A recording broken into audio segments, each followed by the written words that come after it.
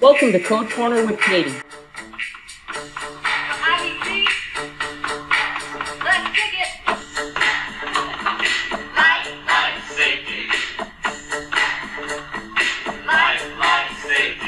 Let's see what's on Thinking Man's mind today. Why is the occupancy type of a building important when selecting code compliant hardware? That's another great question. Thank you, Thinking Man. Come on inside.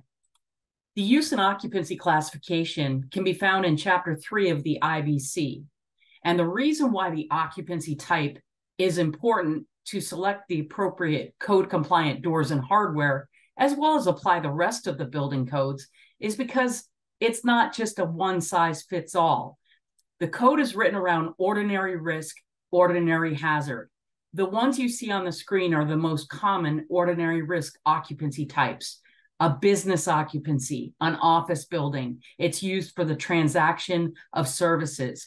A mercantile, group M, is a store, which is for the sale of goods instead of services. So they're very similar occupancy types. And residential occupancies, which include things like hotels, motels, dormitories, and apartment buildings. These are considered ordinary risk because of the way the behavior of the people and how they would react in a fire. What's considered higher risk, and the codes are then more restrictive for assembly, educational, and high hazard occupancies. These are considered the three highest risk because of the large number of people in assembly and because of the school age children in educational group E, K through 12, including nursery schools.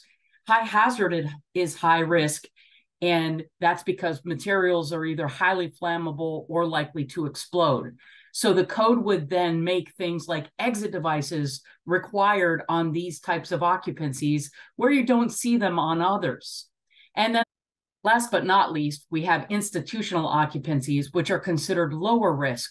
And that's because these are fully sprinklered buildings where the presence of staff will help evacuate the patients who are not capable of self preservation or the inmates in the case of a correctional facility they're not able to just exit whenever they want to. So staff would assist them in moving to an area of refuge or a place of safety while they await further instructions to and therefore we could lock doors on the egress side in institutional hospitals nursing homes assisted living facilities and other similar type spaces so application of the hardware really stems from what what is the risk involved in the different occupancy types and the behavior that they have displayed in the past.